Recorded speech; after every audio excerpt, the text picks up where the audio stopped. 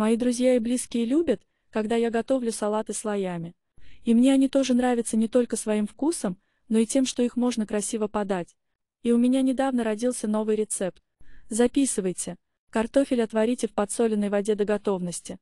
Почистите его и мелко порубите. Уложите картофель первым слоем салата. Обжарьте шампиньоны в масле до золотистого цвета, немного их посолив. Нарежьте их мелкой соломкой. Уложите следующим слоем, предварительно промазав картофель майонезом. Филе отварите в подсоленном кипятке. Остудите его, а потом нарежьте. Промажьте грибы майонезом и разложите курицу. На филе выложите огурцы мелкими кусочками.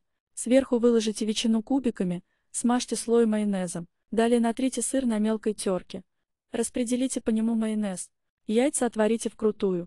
Белки отделите от желтков и отдельно их измельчите. Сделайте из белков следующий слой, смазав его майонезом. Сверху салат посыпьте желтками и зеленым луком. Оставьте салат на часик в холодильнике. Приятного аппетита!